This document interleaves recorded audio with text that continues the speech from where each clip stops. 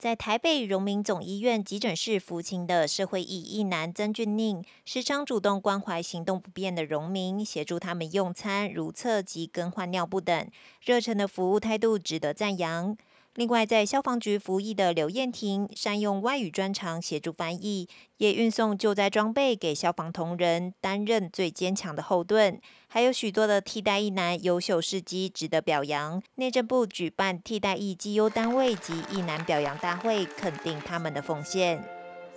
那我的服务内容是，呃，帮助在急诊室帮助荣民贝贝。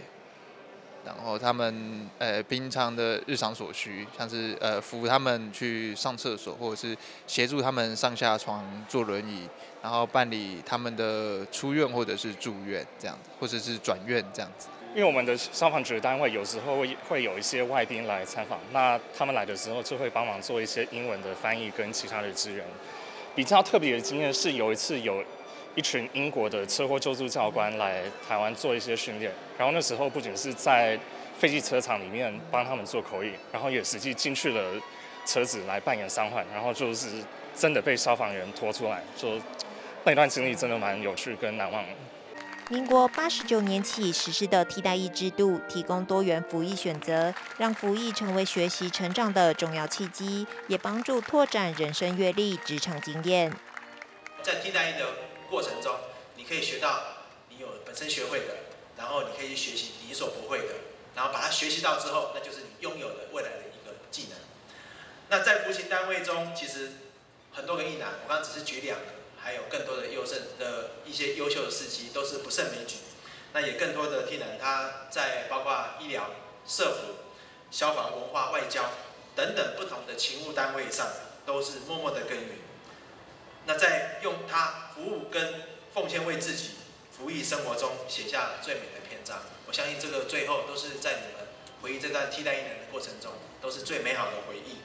那这一次的优呃获奖的绩优单位跟艺男，可以说是实至名归。